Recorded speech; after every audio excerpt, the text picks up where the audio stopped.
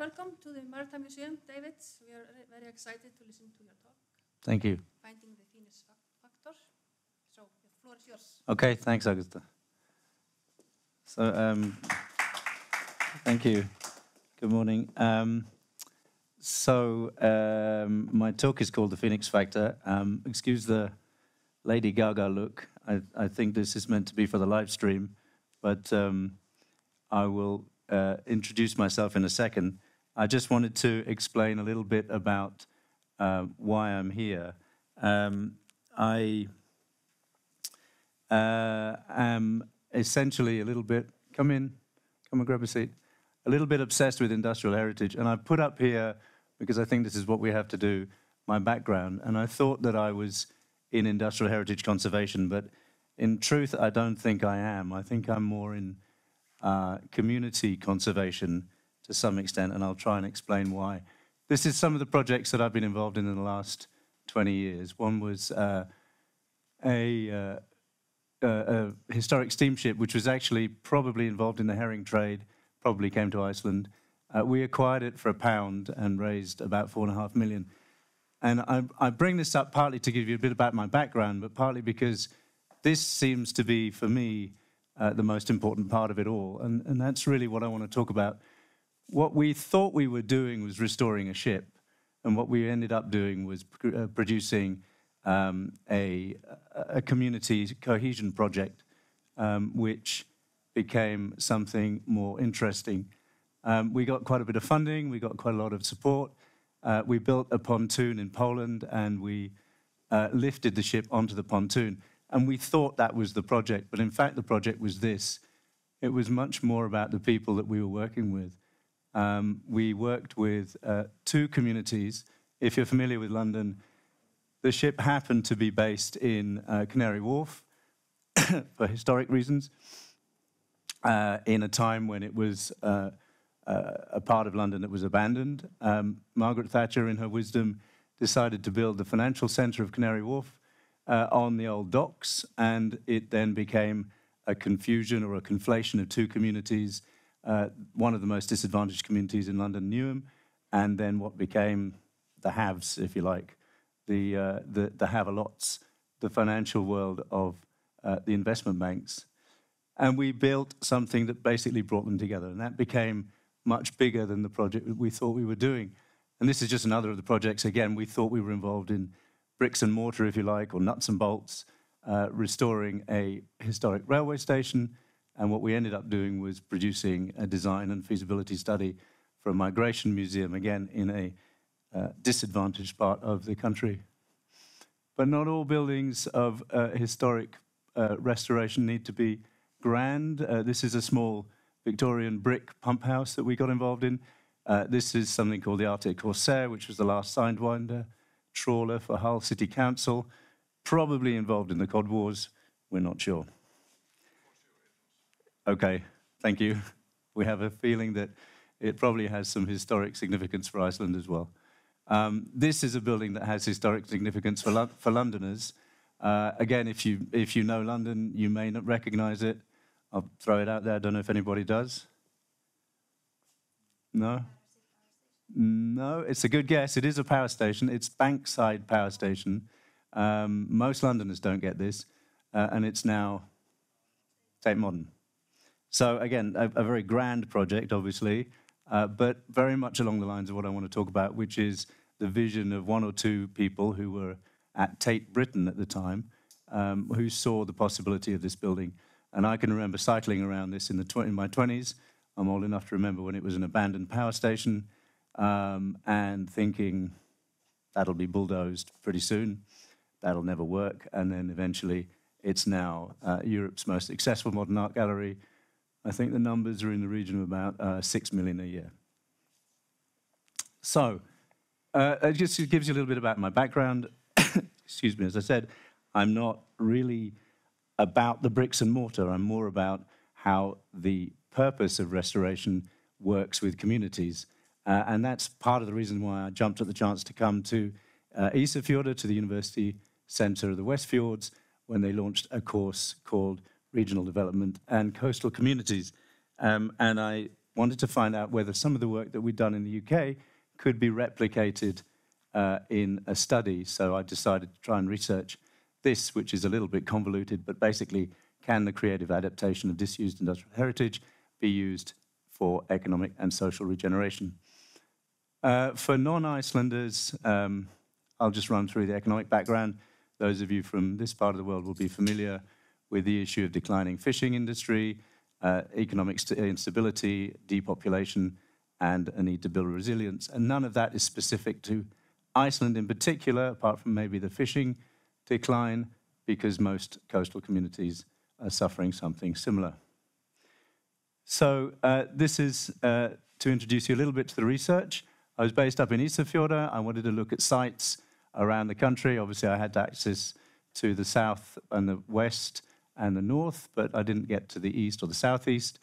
Uh, and the site selection is probably a little bit um, random in the sense that it was based on access, but also um, availability of my interviewees, which I'll talk about in a minute. Um, I'll bring up the list of the sites, uh, and again, they are um, incredibly varied. And one of the reasons why I love this um, subject is because of the variation in the different sites and also the variation in the interpretation methods used to restore them. And in some cases, not to restore them. They're not all restored. I've used the original functions just for the list here, just to slightly be provocative. I'm sure you can probably guess what they are, but I'll go through them in a moment. Um, what I did just at the beginning of the research was to try and understand the uh, types of use or the types of interpretation, um, and I'll explain those as I go along. The first of the types uh, I've called educational interpretation. So this is uh, a classic reuse of a building, if you like. Classic is not meant to be pejorative in any sense. Uh, this is just what I've decided for my own research makes it easier to understand. So of these, I've used uh, the Herring Era Museum and the uh, Westfjords Heritage Museum classic interpretations, if you like. They are very closely linked to their original function. Um, the other type that I've chosen was buildings that have used uh, a different interpretation to their original function. And within that, we can talk about the Art Museum in Akureyri, uh, the Kopelstatia Art Gallery, and the slaughterhouse, which became the Whale Museum. Now, you might argue there is a link. there is a small whaling uh, exhibit within the Whale Museum, but clearly the Whale Museum and the Slaughterhouse are not related. Uh, and this is one of my personal favorites, uh, the fish freezer in Rif, um, and uh, the work of Kári, who's uh, a visionary who has managed to produce something that has made his peers want to stay behind and stay in his community. And that really is the kind of crux of my talk, if you like. It's how do we maintain uh, a critical mass of activity within communities that makes people want to stay and engage and participate in their hometowns. So the third of the uh, typologies uh, I've called commercial spaces. You'll recognize this maybe as the restaurant down the road in the Marshall House, uh, which again is the work of, I would call, two visionaries, uh, Aussie and Steinthor at Kurt og Pí, architects who saw the potential of this building but also the owners of the building who saw the potential and made it happen. And it's now obviously a successful uh, art galleries and restaurant. Um, and this is the type of uh, configuration that I've called hybrids, if you like. They are part commercial, part non-commercial, um, and of that, I've also included uh, the enormous site that is going to be the Gufunes Movie Studios. Um, another enormous and incredible vision. Um, on a different scale, Edinburgh House in Ísafjörður, and on a very different scale, the guest house that was the Salt House in Skagastrand. So you can see there's so many different interpretations, so many different uses, so many different levels of restoration. And on that subject of levels of restoration, one of my types were the buildings that haven't been restored, uh, but have been conserved. So there's a level of abandonment that is uh, maintained whether for financial reasons, whether for aesthetic reasons, uh, whether for practical reasons, um, those are the following. Uh, I've used uh, Djupavik as a great example. Again, the work of, uh, again, I would call them visionaries or leaders.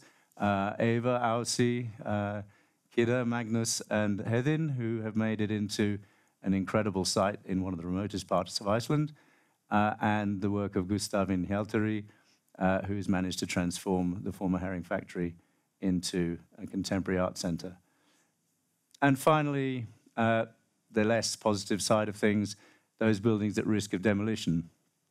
And again, none of this is certain. Uh, that's the point about demolition. They're not demolished until they've gone. Uh, the tool sheds in Akureyri, the industry museum, now may be uh, facing closure. We don't know. Uh, that's not necessarily demolition, but it may be lost, if you like. Uh, the artist residencies in Skagastrand, not the building itself, but there are uh, workshops alongside which were slated to be demolished. But I believe, from information I got yesterday, that they are being reprieved. Uh, which um, the future is uncertain, and I, again, I'd be interested to know more about that. But from what I've understood from Byggðastofnun uh, and the Fragile Communities Program, the future is not clear. And finally, um, a building that we could talk about maybe for hours um, in Vopnafjörður, which is due to be demolished this year. Um, built in the 60s, not listed. Uh, how important is it? I believe Minjastofnun's report says it's important, uh, but the municipality has decided to uh, go ahead and get rid of it uh, because, for practical reasons, I believe it stands in the way of the fish plant. So those were the sites.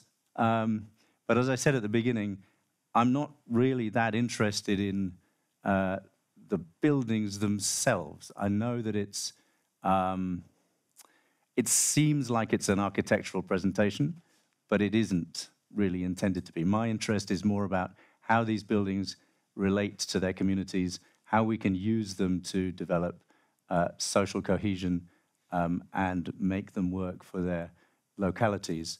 And out of that intention, I drew up these six uh, research questions, which uh, will become hopefully clearer in a moment. Um, what I did was I interviewed uh, 50 people over 18 months just before uh, COVID. And then again, when I could get back to Iceland, I interviewed uh, more uh, in two stages. And they were essentially stakeholders involved in those sites that I've identified.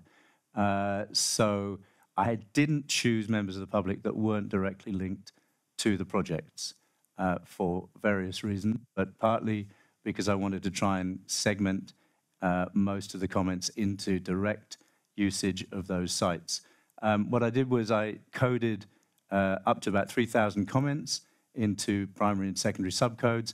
I won't bore you too much with the methodology, uh, but uh, it ended up being um, some work with an application called MaxQDA, and I managed to use uh, that software to identify the comments into different sections. Um, and the, of those different sections, I basically came up with some conclusions, uh, which I'll come on to. But obviously, out of 42 subtopics in, in a half hour presentation, I can't possibly go through them. They are all in the report, which I'll be very happy to send you. Um, but I'm just going to pick out the ones that really stood out to me as interesting. Um, and if they sound negative, it's only because I think that they are potential ways to become uh, um, more positive about the way that we approach industrial heritage. Um, so some of the comments really related to what I can only describe as shame and humiliation related to the association of those buildings. Um, a turf house is not Notre Dame. A lot of these were kind of probably obvious to Icelanders. I don't know if they are. They struck me as uh, quite harsh in many ways. Um, humiliation was a theme that came up in many of the conversations. Uh, I don't know where we are not savages comes from, but that was one of the comments. Um, the issue for me seemed to be one of uh, a lack of a sense of um, uh, pride or respect in the built environment uh, and especially when it comes to industrial heritage. Um, and out of this question of how heritage and local communities relate, I also picked out uh, one of the themes that really struck me uh, around volunteerism. And again, it seemed to be related to ideas of um, exploitation, perhaps.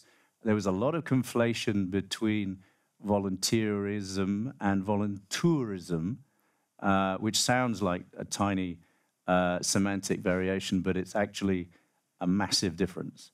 Volunteering has nothing to do with voluntourism. Voluntourism has, I believe, a lousy reputation in Iceland um, and across the world. There's a book just come out today about voluntourism, uh, which is pretty critical. Uh, a well-managed volunteer project has nothing to do with that. Uh, neither does it have anything to do with low-paid internships. Uh, but again, it's a subject that we could talk about for hours. Um, so those were the two topics that propped, uh, prompted me to uh, highlight them for the first question. The second of my questions I wanted to look at were how we describe value and success. Um, those I look uh, regenerative hubs. That's really that keeps coming back and back to uh, the main topic, which is that the buildings that really manage to uh, engage with their communities are the ones that create magnets. They manage to bring their uh, constituency into them, and they manage to provide learning centers uh, and uh, co-working hubs that generate a reason to stay in the communities. Um, in Siglufjordur, for instance, uh, the Siglo Hotel, I believe that was a quote direct from the, uh, the, the investors. Um, but this one I love particularly, just the fact that we are a magnet. And I'm sure that if you can think of some of the sites that have been successful, you'll understand what I mean. They attract people and they make people want to stay. Um, so the third of the uh, research questions um, talked of partnerships and trails, and again, not a particular um, uh, surprise to find that most of the sites that were successful were the ones that looked at partnerships. Uh, but what did strike me was that many of the partnerships and trails that exist in Europe are not known in uh, Iceland. One of the ones that really struck me was the European Route of Industrial Heritage, uh, which is only marginally um, known in Iceland and could be a huge marketing tool for most of these industrial sites. At uh, support from stakeholders. Um, and again, sorry if it sounds negative, but it is the base from which we can hopefully learn and improve. Uh, incoherent heritage strategies just kept coming up and up. Uh, the fact that there doesn't, doesn't appear to be much uh, cohesion between uh, much planning policy and industrial heritage. Uh, and on that note, in I wanted to drill down into tourism and and I came up with a, that tourism um, uh, almost entirely unlinked to the built environment. Stop me if I'm wrong. This is really just the information I'm getting from my interviews. I may well be out of line, but I'd be fascinated to know if I am on the right track. I believe that tourism policy and regeneration uh, development plans are not eh, required to link to the built environment. It's something that strikes me as particularly uh, difficult to understand coming from a country um, where built environment and tourism seem hand in hand. I, I mean, I now live in France in a remote area uh, and uh, the built environment is particularly important uh, in the tourism offer. Um, so the fourth of my questions I wanted to look at were the commonalities between sites, uh, what they experienced as uh, common understandings, and one of those that I picked out I've called the gold rush mentality. Again, it's not meant it's looking at what I think are important themes, and it strikes as particularly obvious coming from a site like the S, which was right of Canary Wharf, uh, where making money was obviously more important than anything. A conversation with what the uh, one of the management at Canary Wharf at what point when we were looking to try and have some support, and I was simply told, uh, old doesn't work here. Um, so the gold rush mentality, what I'm trying to understand from it is here of a drive to um, factor in economic imperatives. Uh, there seems to be something, I was told, maybe, that equates to the mentality or the mindset of uh, the fishing industry, that there isn't much uh, point in thinking too much about whether or not it's time to go and um, um, to uh, to to collect a harvest or or to take your ships out. It's something that you do at the moment, uh, and this seemed maybe to drive the idea that um, the complexity of is perhaps something that isn't considered as carefully as it might be.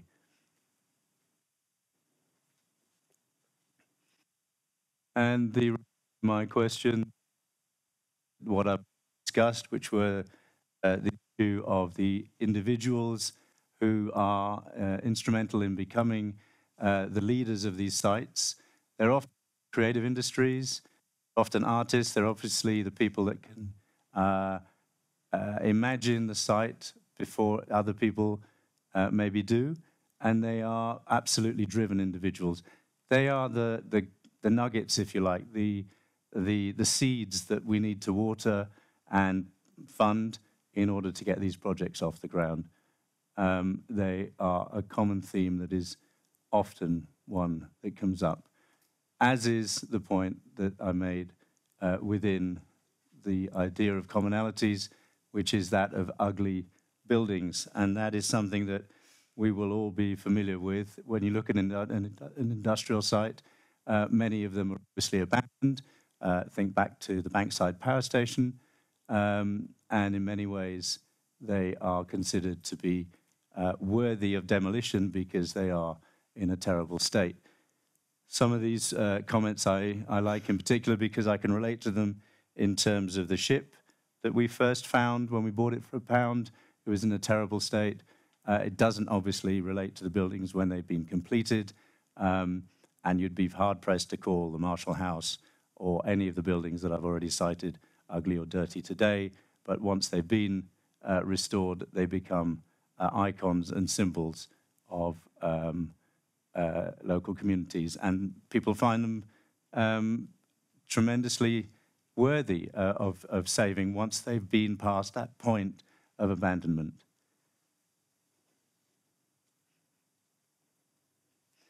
Um, so the challenges and obstacles are one of the things that I wanted to look at.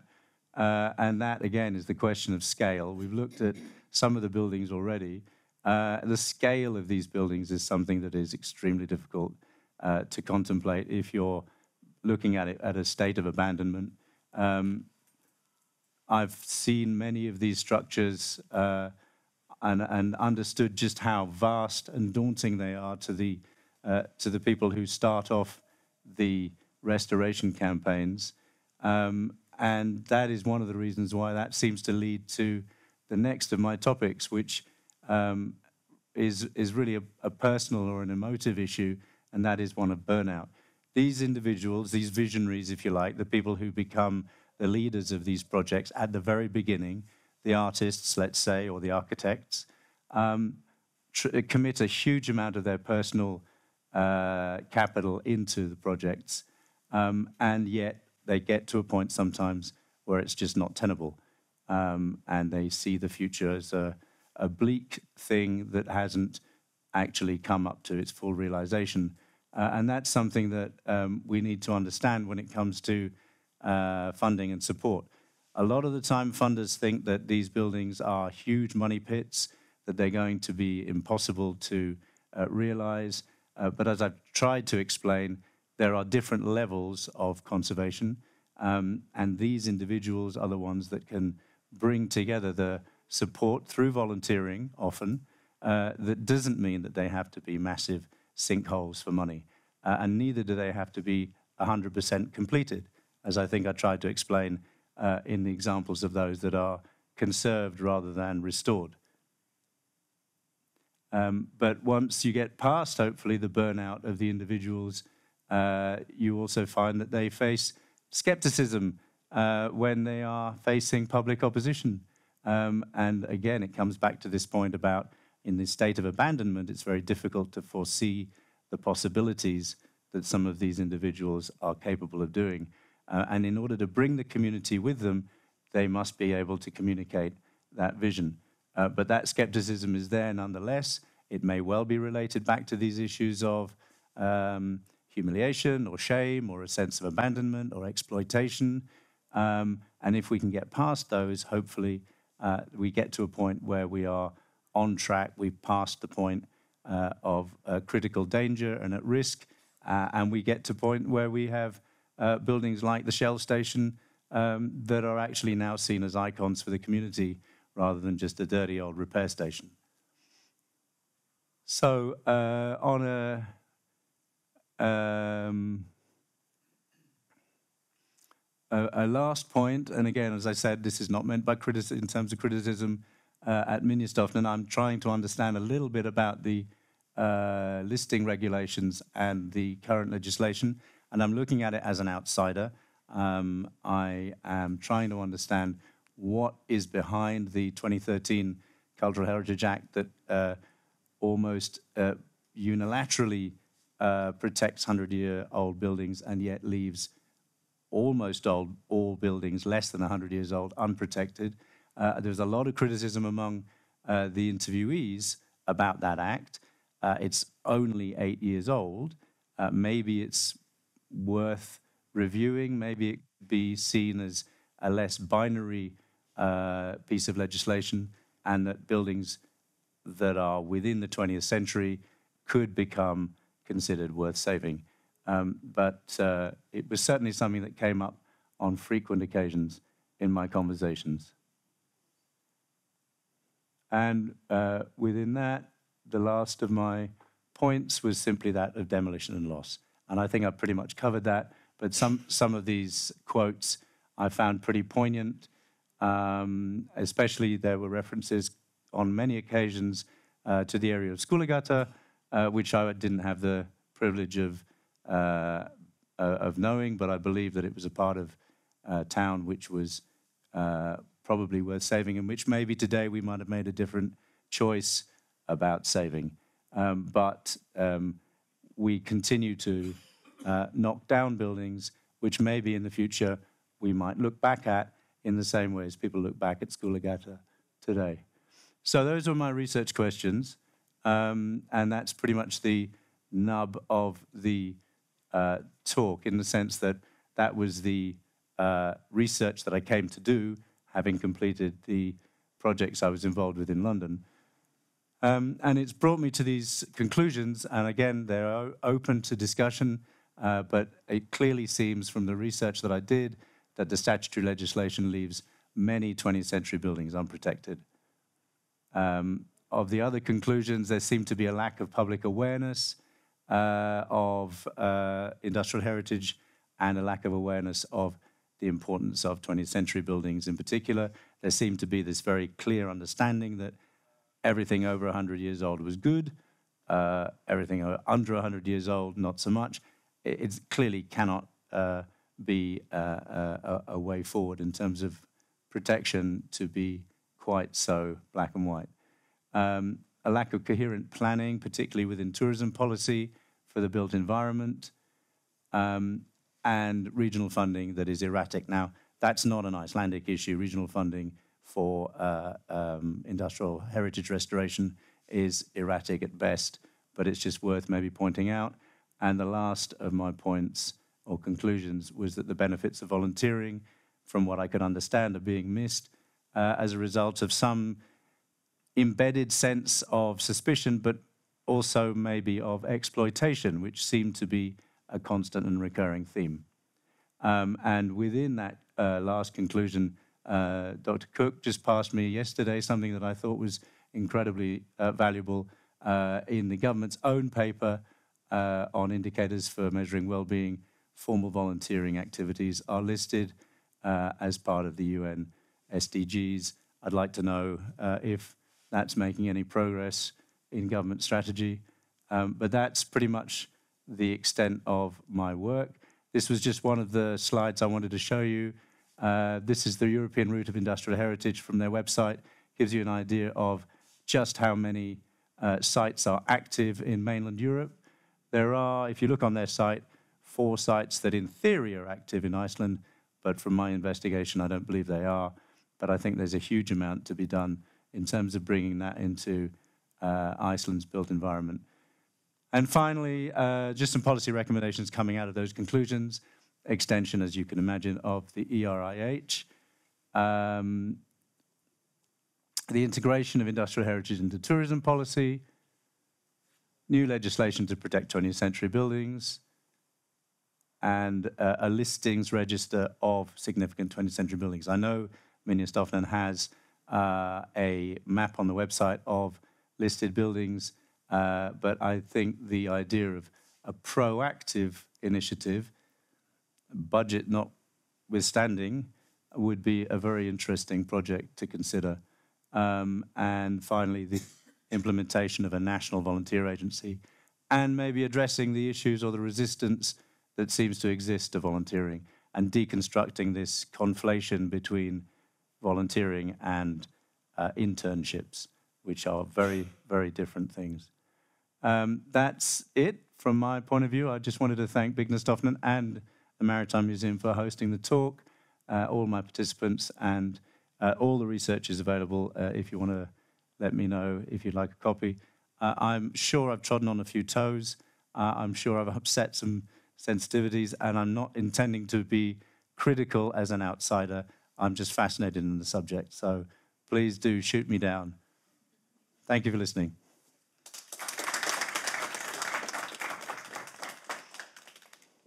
Thank you. Very much. Thank you. Thank you for your interesting talk. I think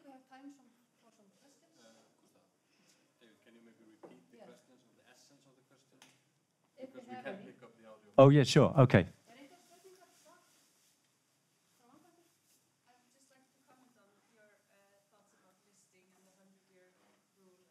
for you.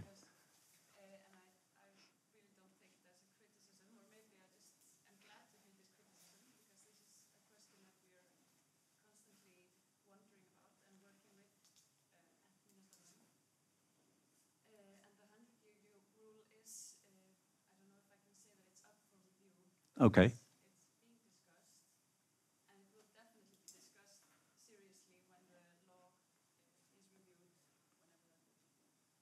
whenever that will be.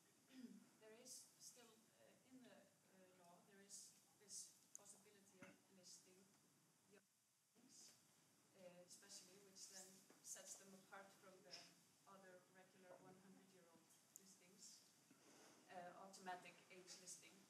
Uh, And I see this sort of automatic age listing as both a problem and a quality. Uh, as is, we are underfunded, and this is like the constant excuse.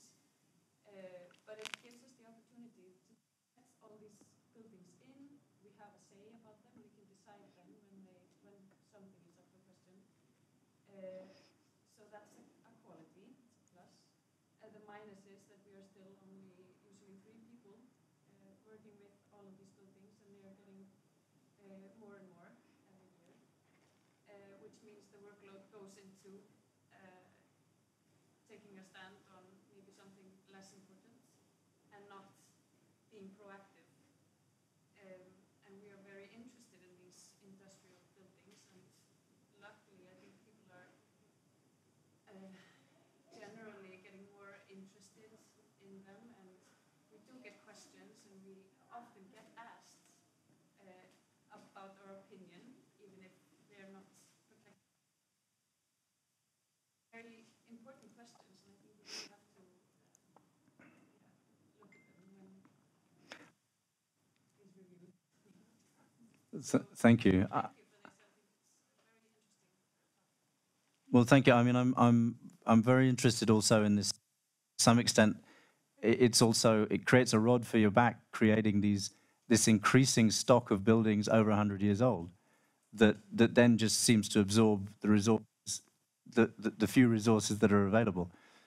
Um, so anyway, I'm, things you know. Yeah. Yes, thank you for interesting. Was uh, one to mention that uh, you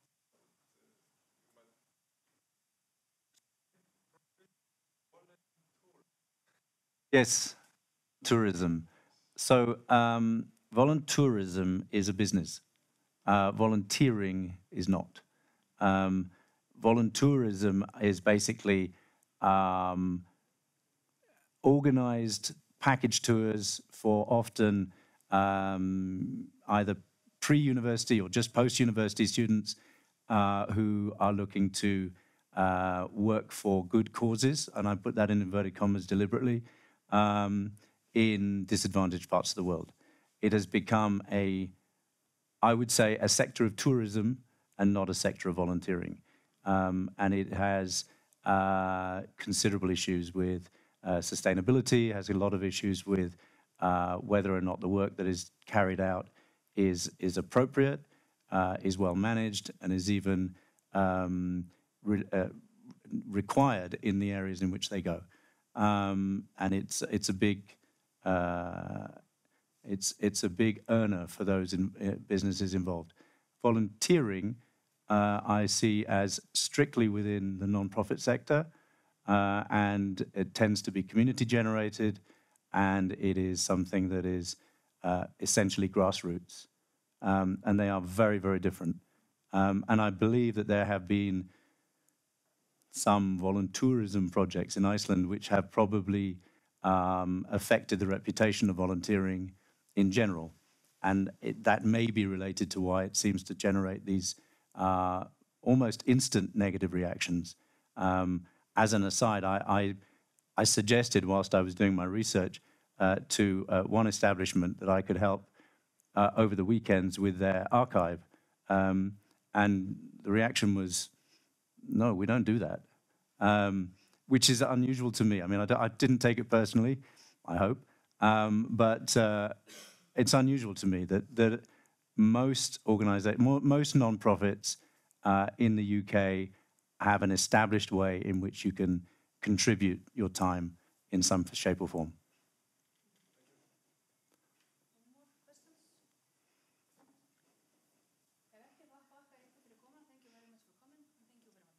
Thank you. Thanks for listening.